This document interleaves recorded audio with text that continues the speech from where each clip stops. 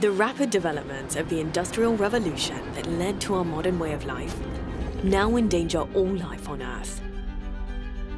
20 years ago, over 70,000 lives were lost in a record-breaking European heat wave that spread across the continent.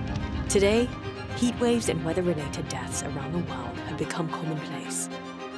Synthetic biology can bring the technological revolution we need to save our planet. Last year's winner from Paris, France, designed a biological system that converts a waste product of the beer brewing industry into a power source. A team from Bengaluru, India developed a biological system that degrades halocarbon-based refrigerants, which are potent greenhouse gases.